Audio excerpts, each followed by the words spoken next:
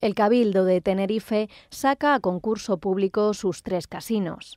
Playa de las Américas, Taoro y Santa Cruz son las tres salas de juego que se pondrán a la venta de forma conjunta con un importe de casi 25 millones de euros. El presidente del Cabildo de Tenerife, Carlos Alonso, explica el proyecto. Es una oportunidad de inversión muy interesante eh, porque supone eh, desarrollar una actividad que es muy interesante en el ámbito turístico. Eh, la isla, como saben, es uno de los principales destinos turísticos de, España y, del mundo, que recibe más de 6 millones de turistas al, año y que tiene la actividad del casino y del juego pues también un atractivo importante. Esta operación, que implica una inversión mínima de 4,5 millones se podrá desarrollar en un plazo máximo de cuatro años y podrá comprender actuaciones de obra nueva, así como rehabilitaciones de edificaciones ya existentes.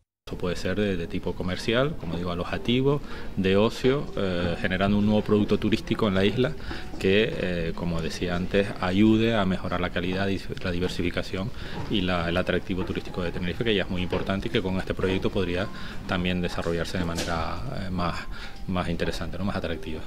La conectividad aérea y un gran marco económico convierten a Tenerife en un enclave estratégico para desarrollar un proyecto de inversión que potenciará el valor turístico de la isla.